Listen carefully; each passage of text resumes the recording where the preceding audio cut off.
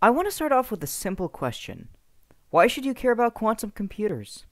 If you work in any field that is dependent on mathematics or computer calculations in any way, quantum computing is going to help you find solutions to questions once considered unsolvable. If you're someone who cares about cybersecurity, especially the areas of information decryption and encryption, quantum computing is going to revolutionize that ballgame. The entire field of cybersecurity will eventually become entirely dependent on quantum computing to develop new methods of data encryption and protection infinitely more effective than those we have today. If you're a small business owner who wants to perform finance calculations to find where to save money on business costs, quantum computing is going to be an invaluable tool to you. Tools such as quantum annealers allow users to solve series of equations with user-assigned weight values in order of priority to find the optimal solution as to where to allocate money. If you have never done any professional work with computers or mathematics in the past and just want to get on with your life, quantum computing is going to help you. Quantum computing isn't some magical gift from the gods destined to be used only by the greatest minds in the field of computer science. It's a way for everyone to find better solutions to the equations that everyone must solve in life. Like the classical computer that swept through the world decades ago, a new wave of quantum computing looms on the horizon, one that will ultimately enable us to optimize daily personal decisions and address humanity's toughest challenges alike. Quantum computers are remarkable machines down to their simplest components. Just as standard computers run on bits, quantum computers run on what are called qubits. While the bits in a classical computer can either hold a value of 0 or 1 at any given time, qubits consist of an object that can attain what is called quantum superposition between two states, that is, the ability to be both 0 and 1, and every possible value in between. In this case, atomic nuclei are perfect for the job, and there's a lot of different ways to actually prepare these nuclei for use as qubits. To list a few examples, you can place a single atom at a specific position in a silicon crystal and use it as a qubit. Or you can transform the atom into an ion by removing an electron and suspend it in midair using electromagnetic fields. Additionally, superconducting circuits can be used. By pairing up electric charge carriers, circuits begin to behave as if they were a single atom in a quantum state. By using these electric currents to mimic quantum superposition of atoms, the superconducting circuits become qubits themselves. Whether atoms or superconducting circuits are used, however, an underlying issue presents itself. The state of quantum superposition, whether it be displayed by an atom or a superconducting circuit, is incredibly fragile. This is the problem of isolation. Any little change in energy, or heat transfer from the outside world to the qubit, or movement in any immediately surrounding area will greatly affect the state, throwing off the exact state of superposition and ruining any running calculations. Even directly observing the qubits and their work will force them out of this 0 and 1 state. It's like the old Schrodinger's cat analogy. The cat is only both dead and alive while the box remains closed and no one looks inside. And essentially, you end up having to create something like this.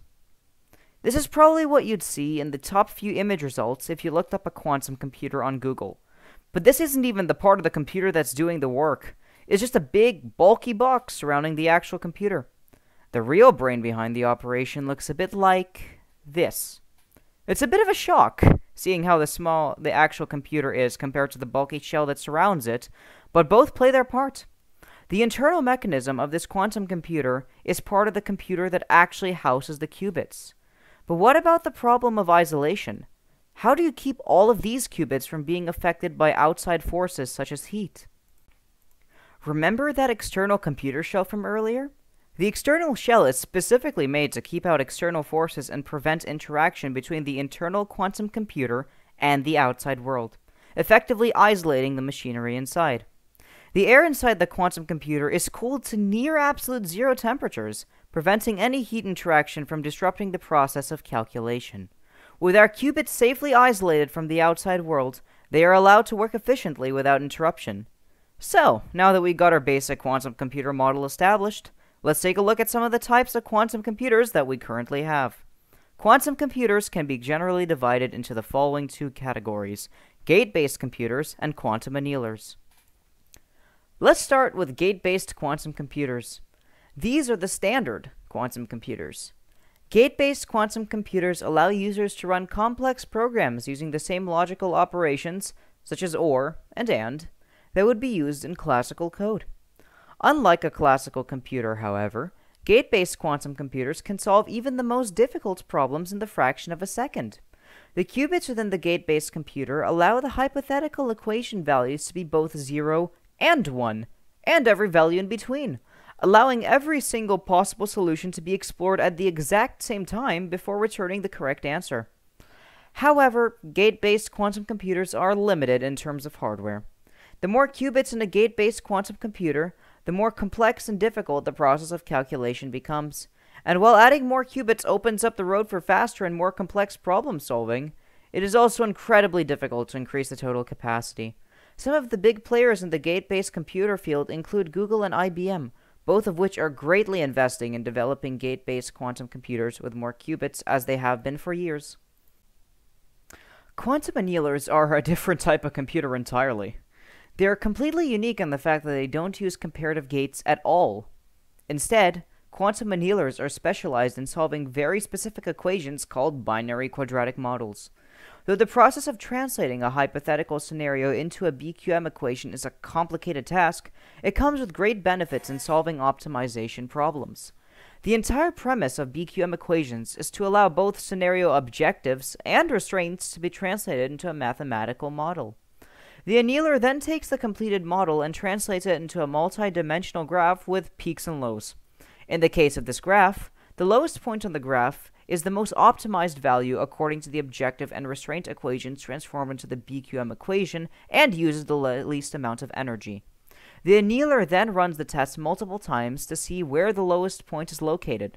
This can be visualized as a person dropping balls above this graph and taking note of where the highest accumulation of balls lowest in the graph is.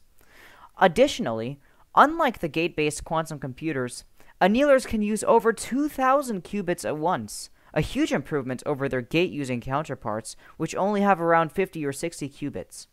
The company D-Wave has been on the pioneering edge of annealer computation and has posted multiple tutorials on YouTube for people interested in exploring the field of quantum annealers.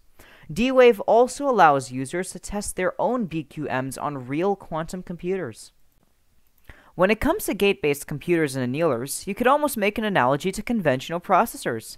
ASICs are to CPUs as annealers are to gate-based computers. ASICs are used for incredibly specific tasks, such as Bitcoin mining, and annealers are used for specific optimization problems, while both CPUs and gate-based computers are used for general operations. Thank you very much for watching my introduction to quantum computing video. I'm going to be making this a series with multiple parts.